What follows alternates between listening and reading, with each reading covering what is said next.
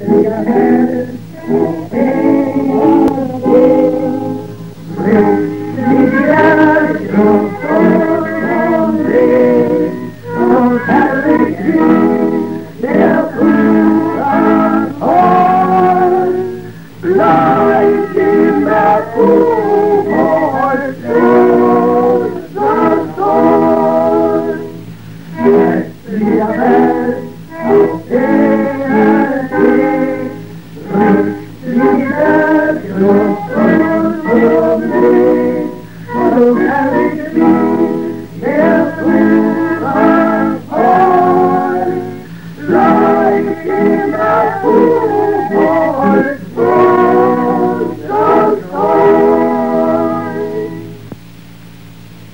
In ganz Buchholz sah man diese Plakate.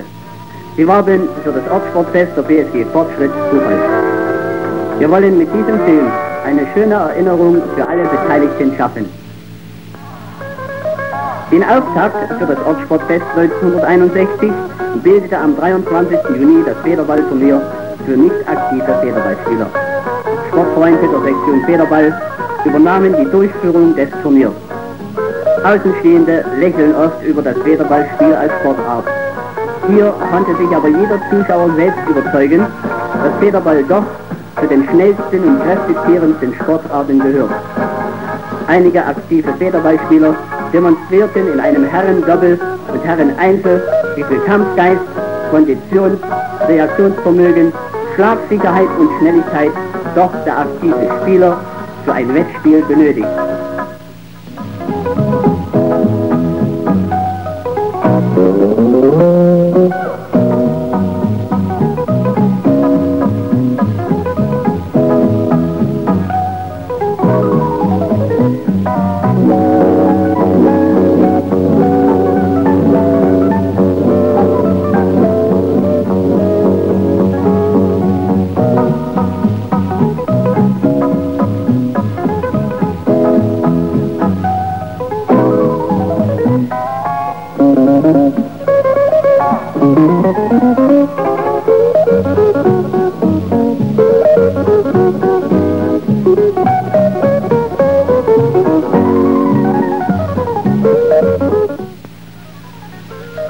Im Herreneinzel spielen die Sportfreunde Richard Fleischer und Hans Levin.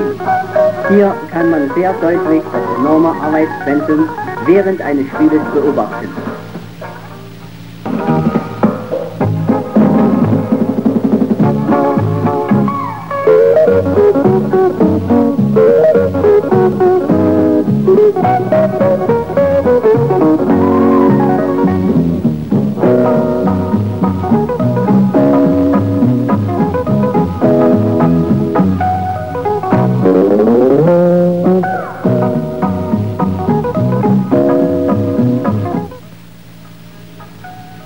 Sonnabend stand ganz im Zeichen leichtathletischer Kämpfe. Am Vormittag führten die Schüler der Schulsportgemeinschaft Buchholz ihre Wettkämpfe durch. Für den Nachmittag waren Mannschaftswettkämpfe für die Nationale Front aller Buchholzer Betriebe und Sektionen der BSG Fortschritt ausgeschrieben. Leider beteiligten sich an diesem Dreikampf nur die aktiven Sportler der BSG. Auch hier war unsere Kamera wieder dabei. Den Auftakt bildete der Weitsprung. Jeder versuchte, das beste Resultat für seine Mannschaft zu erzielen.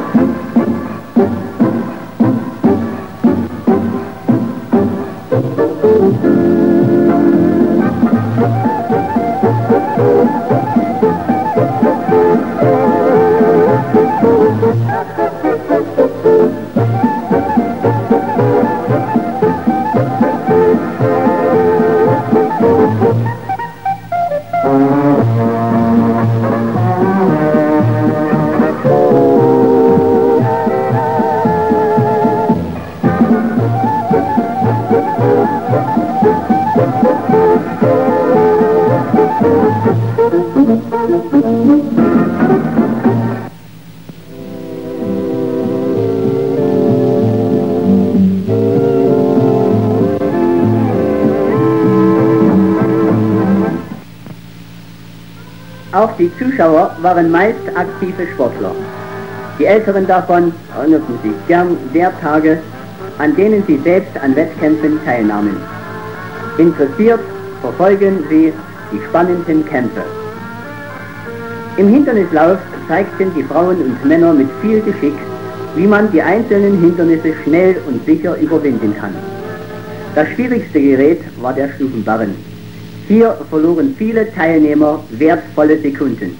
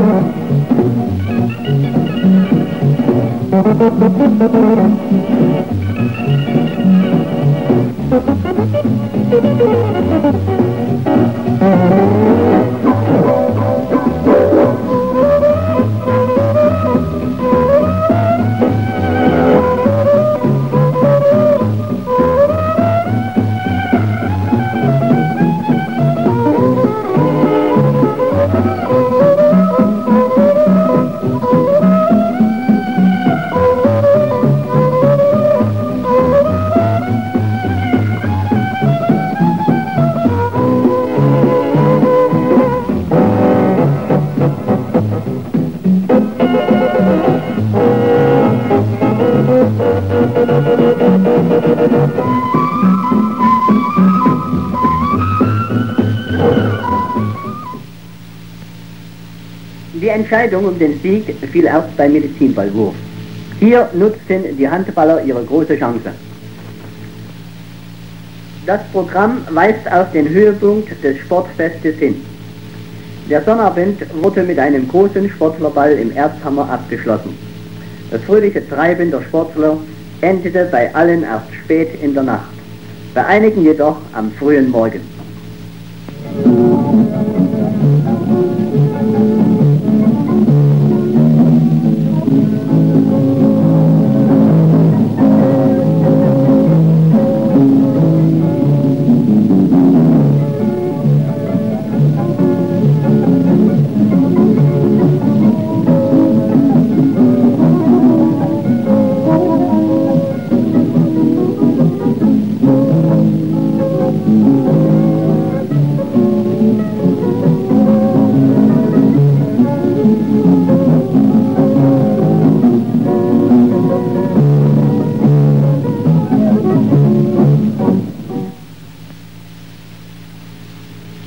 Sich fast alle von den Strapazen und Dauerdenzen erholten, waren bereits nimmermüde Helfer dabei, die Voraussetzungen zum Gelingen des Sonntagsprogramms zu schaffen. Bereits in den frühen Morgenstunden stellten sie sich bereitwillig zum Gerätetransport zur Verfügung. Viele Geräte und Kleinigkeiten, die alle zum Gelingen beitragen, wurden aus weiten Buchholzer Turnhallen rechtzeitig auf den Festplatz gebracht.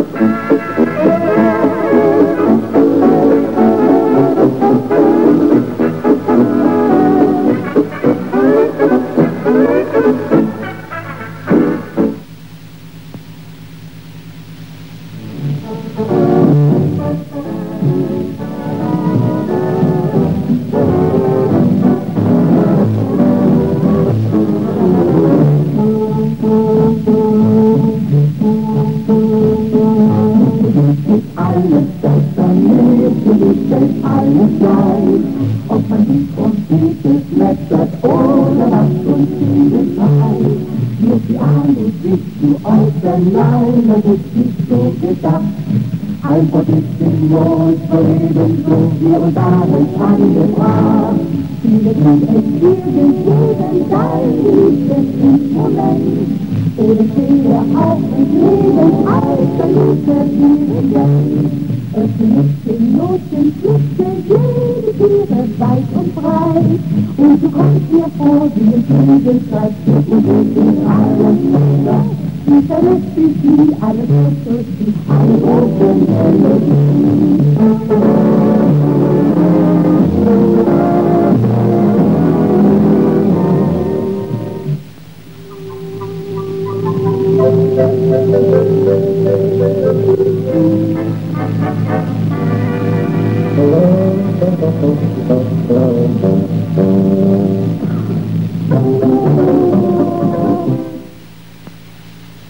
Dann war es endlich soweit.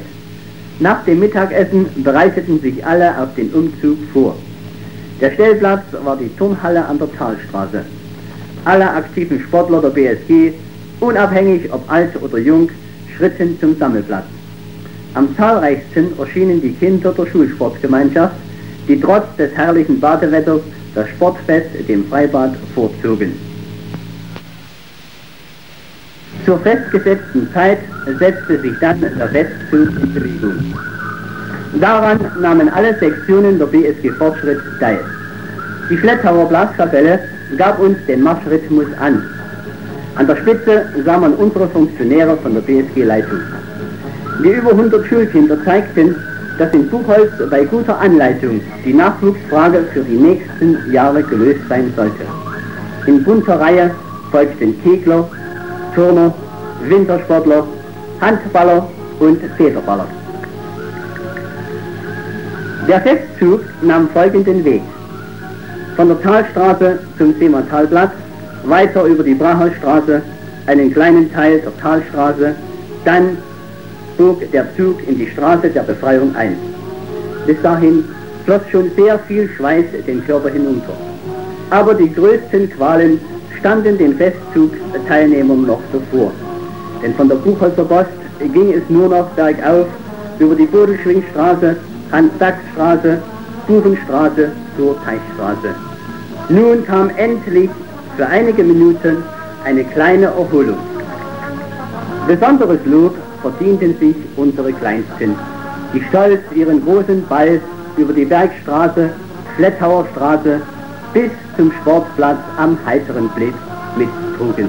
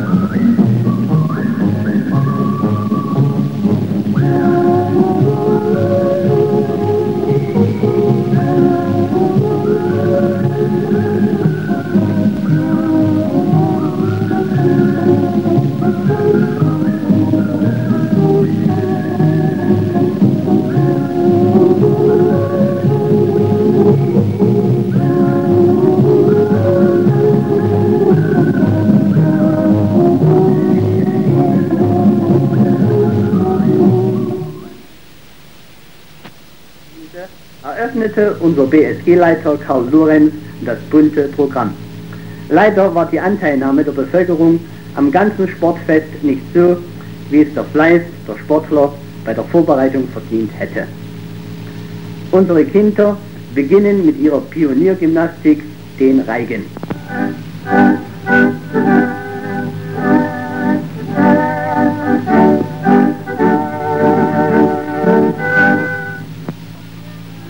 Zwei der aktivsten Schüler turnten den anderen die Übungen vor. Nach den Klängen unseres bewährten Musikers Kurt Fritz bemühten sich alle um ein harmonisches Gesamtbild.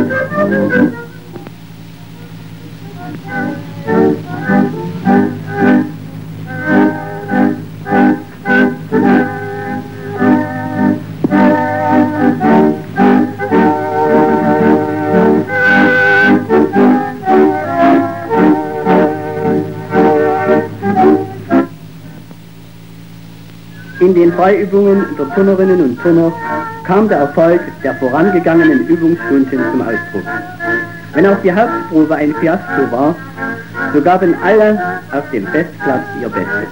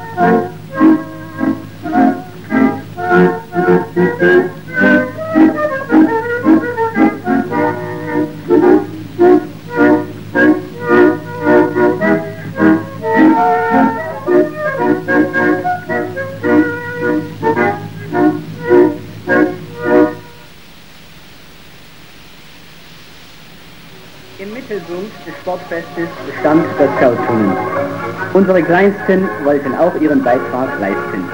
Sie zeigten, was sie am Kasten und mit dem Ball gelernt hatten.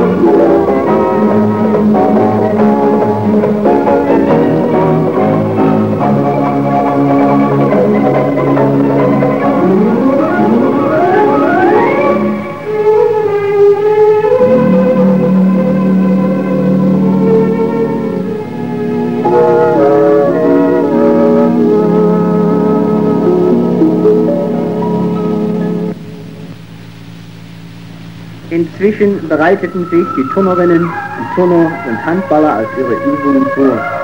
Am Barrenkasten und am Schwebebalken wurden recht ordentliche Leistungen geboten, wobei die Windverhältnisse, besonders am Schwebebalken, bei der Einschätzung berücksichtigt werden müssen.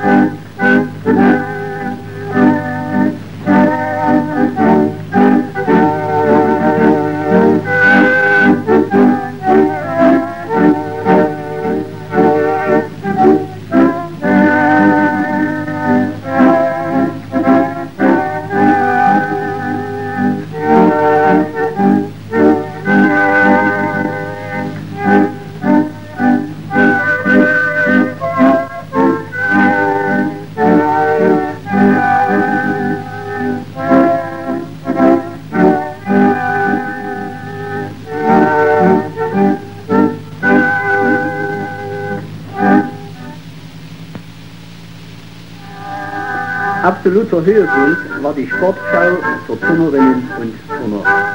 Harmonie, Kraft und Schönheit lagen in diesen Übungen. Bitte überzeugen Sie sich selbst.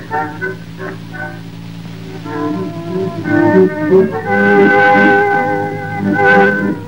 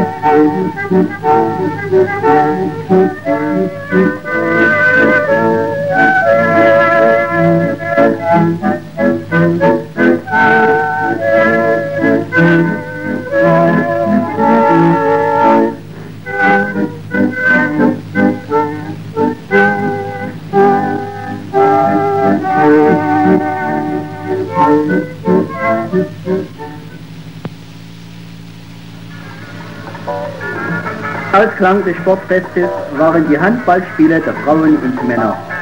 Während die Frauen nach großem Kampf ein 5 zu 5 unentschieden erreichten, unterlagen die Männer den Gästen als Aue.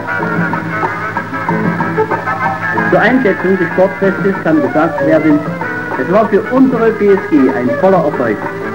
Es bildete einen Höhepunkt der sportlichen Jahresarbeit.